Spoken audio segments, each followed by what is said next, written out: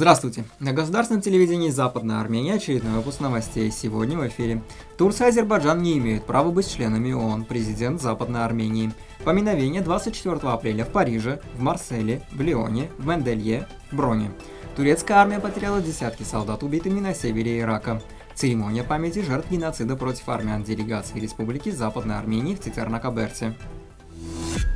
Геноцид против армян продолжается до сих пор. Об этом заявил президент Республики Западная Армения Армен Акабрамян в беседе с корреспондентом Армения Today у мемориала Кизернакаберт. По его словам, либо мир должен все это учитывать, либо мы должны оказать сопротивление. По его словам, Турция и Азербайджан преступные государства, и они не имеют права быть членами ООН.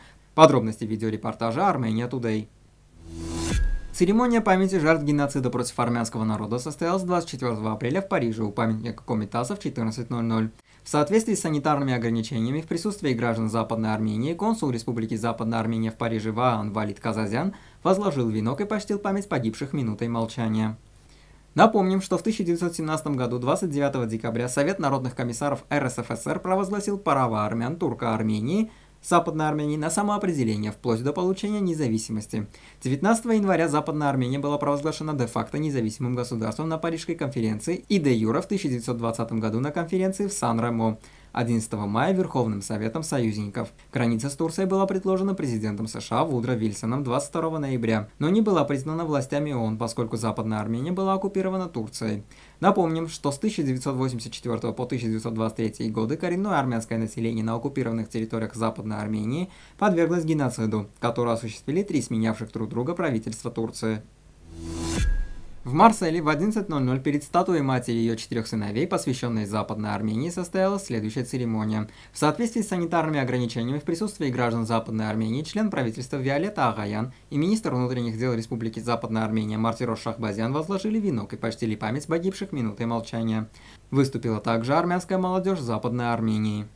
Напомним, что в 1917 году 29 декабря Совет народных комиссаров РСФСР провозгласил право армян Турка Армении – Западной Армении на самоопределение вплоть до получения независимости. 19 января Западная Армения была провозглашена де-факто независимым государством на Парижской конференции и де-юра в 1920 году на конференции в Сан-Ремо. 11 мая Верховным Советом союзников. Граница с Турцией была предложена президентом США Вудро Вильсоном 22 ноября, но не была признана властями ООН, поскольку Западная Армения была оккупирована Турцией.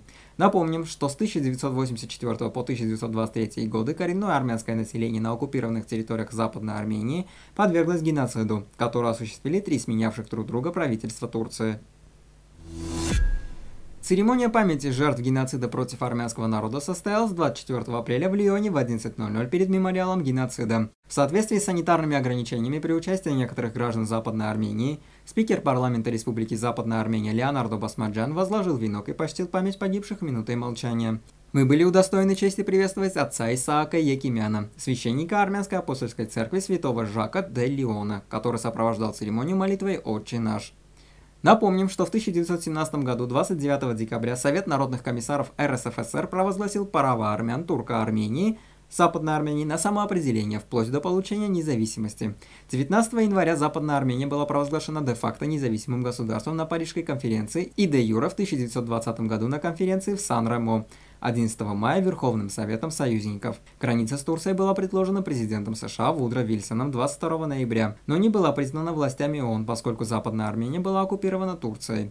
Напомним, что с 1984 по 1923 годы коренное армянское население на оккупированных территориях Западной Армении подверглось геноциду, который осуществили три сменявших друг друга правительства Турции. Церемония памяти жертв геноцида против армянского народа состоялась 24 апреля в Мандельё на поле в 11.00 напротив Хачкара.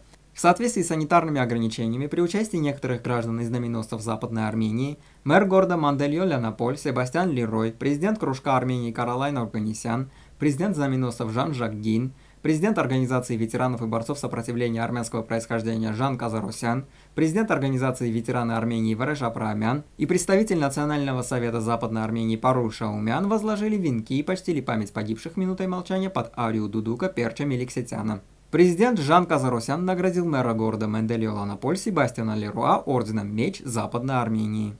Напомним, что в 1917 году 29 декабря Совет народных комиссаров РСФСР провозгласил право армян Турка Армении Западной Армении на самоопределение вплоть до получения независимости.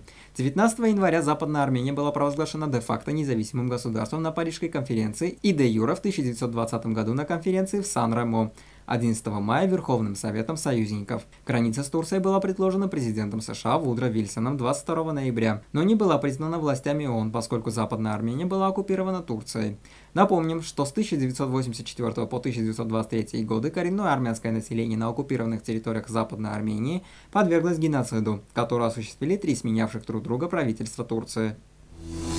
Церемония памяти жертв геноцида против армянского народа состоялась 24 апреля в 21.00 на кладбище коммуны в Броне. В соответствии с санитарными ограничениями при участии некоторых граждан Западной Армении, мэр города Брон Джереми Бреот, спикер парламента Республики Западная Армения Леонардо Басмаджан возложили венок и почтили минутой молчания память о погибших.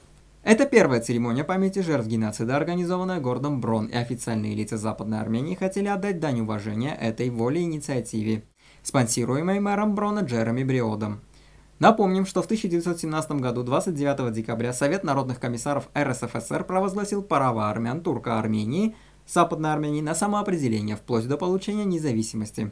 19 января Западная Армения была провозглашена де-факто независимым государством на Парижской конференции и де-юра в 1920 году на конференции в Сан-Ремо.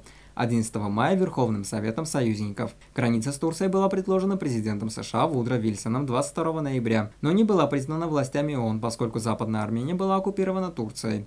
Напомним, что с 1984 по 1923 годы коренное армянское население на оккупированных территориях Западной Армении подверглось геноциду, который осуществили три сменявших друг друга правительства Турции.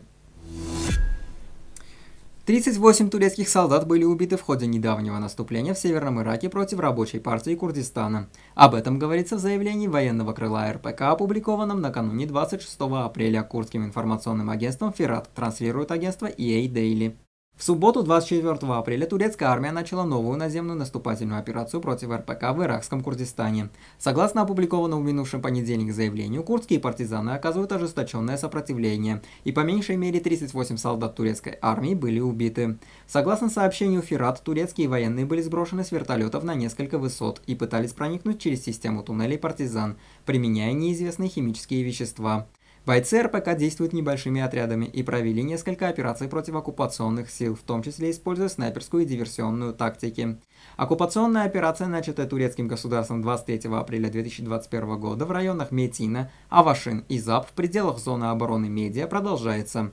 Наши партизанские отряды провели обширные действия против вторжения и нанесли тяжелые удары по оккупантам, говорится в заявлении, распространенном от имени военного руководства РПК.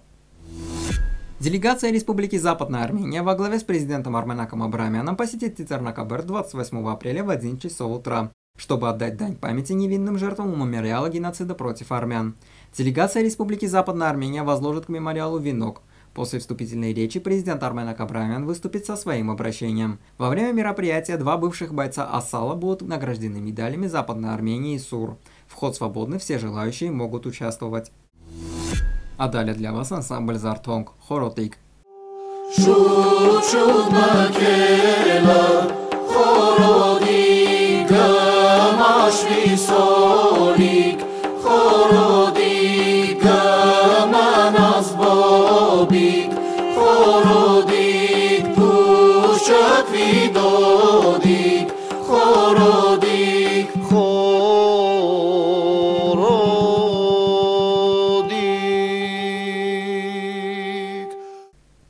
Версия видео доступна на официальном сайте государственного телеканала Западная Армения. А на сегодня все, желаем вам всего хорошего.